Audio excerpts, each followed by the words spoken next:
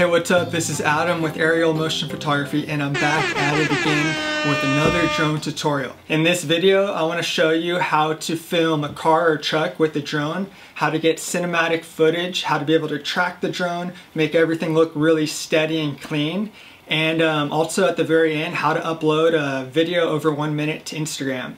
Because if you didn't post on Instagram, did it really happen?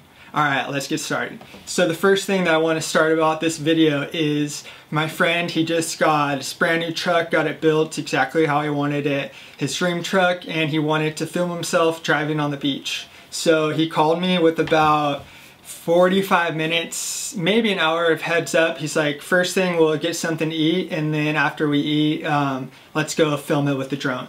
So we didn't have very much time planning it and basically what I had to do was just kind of go on the fly and um, I just wanted to explain to you kind of my thought process and what I did to make this video turn out as well as it did. The first thing that I did is I wanted to get different shots. So you want to be able to plan things out. At least in your head, there's a few things you can just run through. So I knew um, since the drone has more of like a wide angle lens, I knew I wanted to get a variety. So something that's kind of pulled back, overhead, close up and then um, with movements you also want to get a lot of movement. So one of my favorite things to do with anything that has to do with boats cars trucks it's the orbit. It really shows off the whole vehicle and um, if you can get it and it looks really smooth, it looks like something you'd see on TV in a commercial or on the movies. When creating a video, you want to have three parts. You want the beginning, the middle, and the end. So in the beginning of the video, you want to set the scene. So you can see right here, I have the sunset off to the left, so I'm setting the scene. The sun's going down. You can see the sun rays reflecting off the windows of the houses. I'm starting with a three-quarter shot. One of the things that I think is the most impressive part about his truck is the front end and just how like imposing and aggressive it looks. So that's why I'm starting out with the drone in front. I'm just in normal mode. I'm not in tripod mode. I'm not in any of the quick shot modes. Mode freehand, following the truck as he goes down to the water. He's making his turn. As I'm flying, now I'm starting to put it into the active track mode and I'm gonna select trace. And what I wanna do is I wanna orbit around the truck. If you want to learn more about the active track modes, click on this video I made up here and I go in depth and basically explain all the steps and how to do it. Okay, let's get back to this video. So I'm orbiting around the truck and then now I put it into clockwise mode. So I'm getting a whole different angle. Since the sun's gonna be at my back, it's really lighting up the truck and you can just see the details a lot better as soon as I'm rotating around. I always like to have angles, so I kind of like to have everything go either to 90 or 180 degree angle. So I'm coming around, I wait till it gets, you know, right behind the truck, and then that's where I make my next cut. Pro tip would be if you want to take your videos to the next level, it's to match the soundtrack with the video. So one way that you can do this is you can look at the audio and you can look at the spikes of the audio when you're doing your editing. And when you see a spike, if you want to have your video edited with the beats, that's when you can make your cut and to go on to the next part of the video. Don't touch my truck.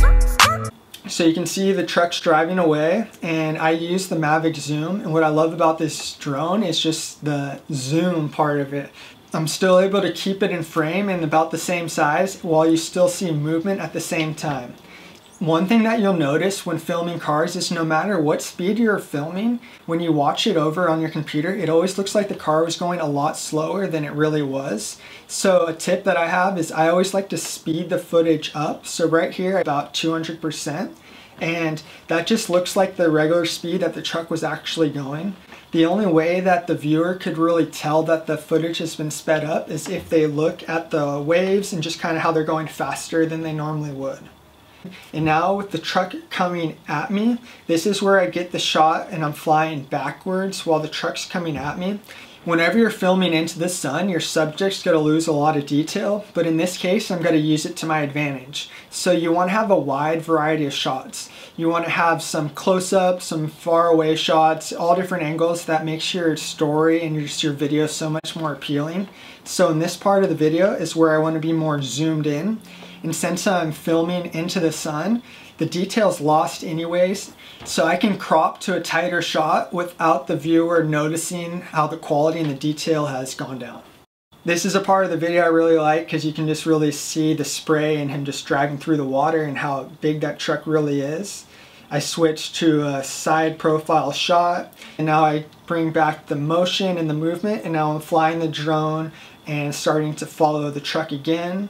Coming up behind the truck, freehand, orbiting around, and now I cut to film the truck from the other direction. And I think this is a cool shot. You see the sunset, you see a surfer walking with his board, and then him driving the truck just slowly up the beach.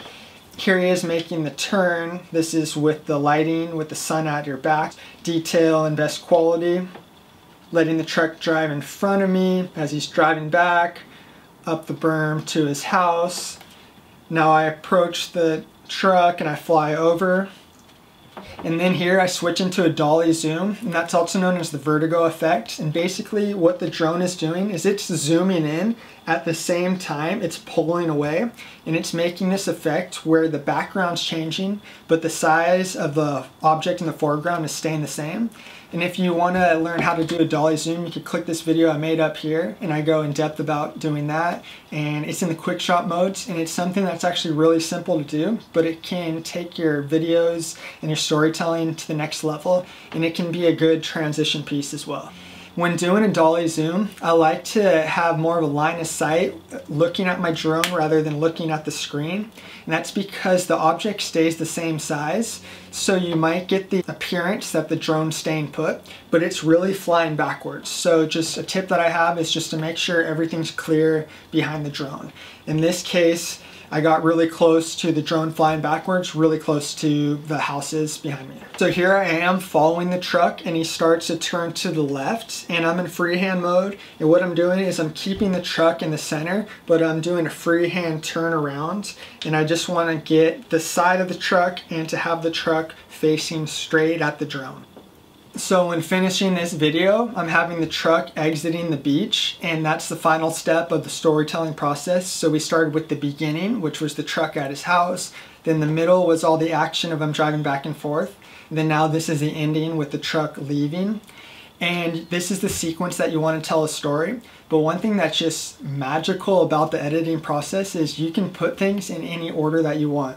So you can keep the continuity of the video, which means in the right sequence, even though when you filmed it, it might not have happened in that order. As I'm filming, I'm flying behind the truck, and it looks like I'm going to overtake it, but what I do is I pan down and I'm still matching the horizontal speed of the truck, but I fly up vertically and that's what gives this really cool bird's eye view shot and that can add just to the cinematic effect of your videos. And if you want to learn more cinematic shots like these, click on this video up here and I go over different cinematic shots and I explain them and some of them are pretty easy to do. And the bonus tip that I said I would give out at the end of this video was how to upload videos that are over a minute to Instagram.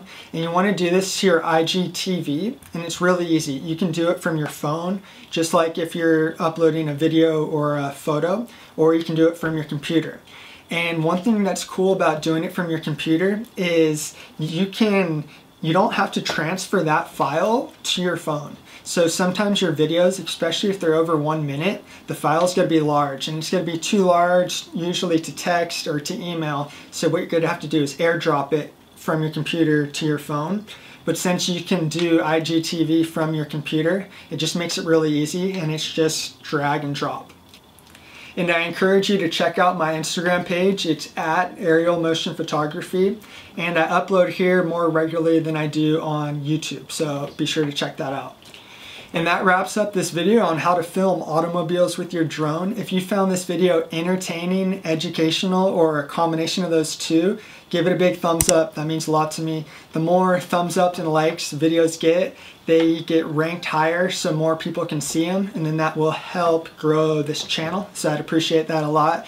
If you like videos like these, consider subscribing and then check those notifications so you'll be notified when I upload my newest videos. As always, my name's Adam. Fly safe, take care, peace.